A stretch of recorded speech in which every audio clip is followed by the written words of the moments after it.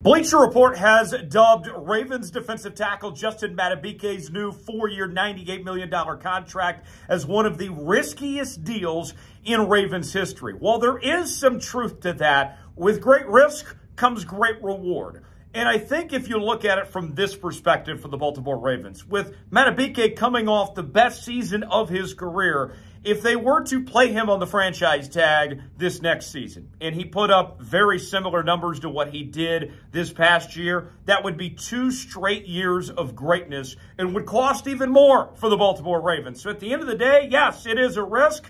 But I think Eric DeCosta made the right call to go ahead and pay Madubuike now and not potentially cost him more down the road. What do you guys think? Weigh in the comments section. Subscribe now to a Ravens Rundown for daily Baltimore Ravens coverage.